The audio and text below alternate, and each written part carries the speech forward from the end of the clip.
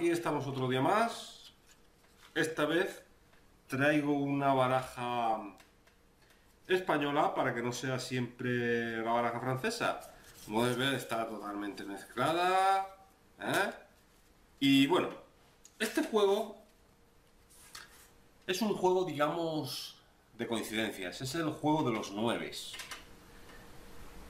Eh, como sabéis, y si no lo sabéis os lo digo yo, toda y cada una de las cartas de una baraja son o pueden ser especiales. En este caso van a ser los nueve.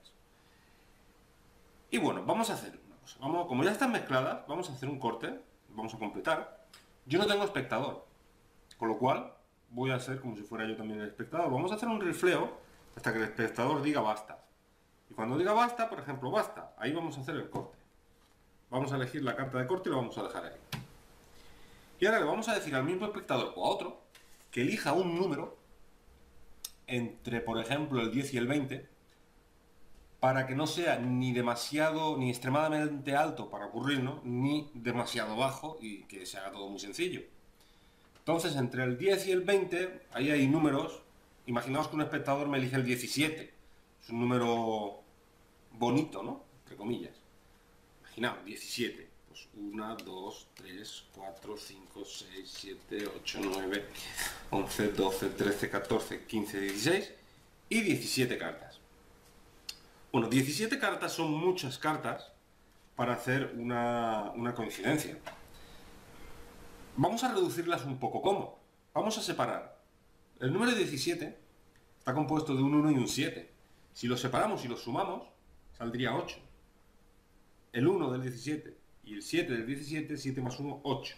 Pues vamos a echar 8 cartas. 1, 2, 3, 4, 5, 6, 7 y la octava carta es un 9.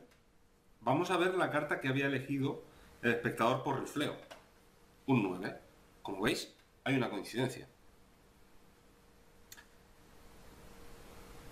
Y ahora vamos a ver otra cosa. Eh, de estas cartas que me quedan a mí, aquí, por ejemplo, 9 y 9, vamos a suponer, sumamos los dos, suman 18. Entonces, si ese 18 lo descomponemos, qué casualidad, el 1 por un lado y el 8 por otro, 8 y 1 son 9, suman 9. Entonces contamos 1, 2, 3, 4, 5, 6, 7, 8 y qué casualidad, 9. Y además, coinciden 9. Bueno, no pasa nada. Queda uno por hacer. Las tres cartas suman 27, 9 por 3 son 27. Si dividimos el número como estamos haciendo hasta ahora para que no sea tan largo, 27 separados suman un total, qué casualidad, otra vez 9. Bueno, pues no pasa nada. Vamos a contar 1, 2, 3, 4, 5, 6, 7, 8 y la carta número 9. Como veis, esta vez ha sido el número especial el 9.